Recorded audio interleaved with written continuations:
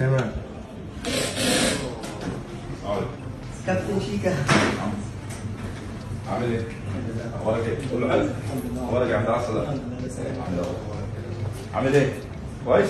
أخبارك إيه؟ عايز أقول لك أغنية. اتفضل لسه الأحلى جاي في رحلة بودي وشوق وسيبك إنت دي فيها إنت كل براح قلبك هيروح وبنجمل سكتنا مادام عايشين مفيش رحلة في السكة دي تبكي العين. تيجي كده تيجي كده يعني قلبك شيء جميل. والعيون اللي في خيالك ليها رب اسمه الكريم. يلا عايزين ابتسامة ترمي كل شيء جميل. ده شيكا ده شيكا وش الخير؟ حبيبي حبيبي.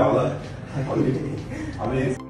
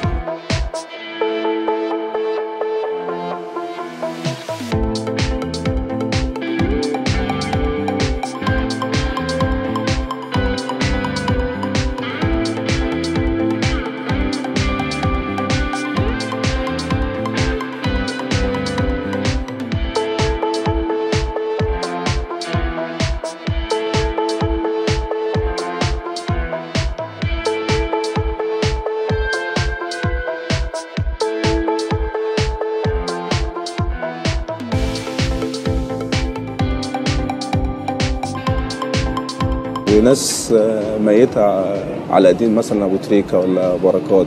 فالناس دي يعني أنا مش عارف هم هيلعبوا إزاي كذا إحنا بنروح النادي دلوقتي مش قادرين نتمرن. جمهور النادي الأهلي تقدم لك باعتذار رسمي أمس وقالوا لك إحنا آسفين يا شيكابالا. قال لهم لا طبعا أنتوا يعني إخواتي طبعا وما فيش مشكلة خالص. وإن شاء الله اللي جاي الماتشات اللي جاية ولما الدوري يرجع تاني إن شاء الله. عايزين نرجع زي الأول بقى.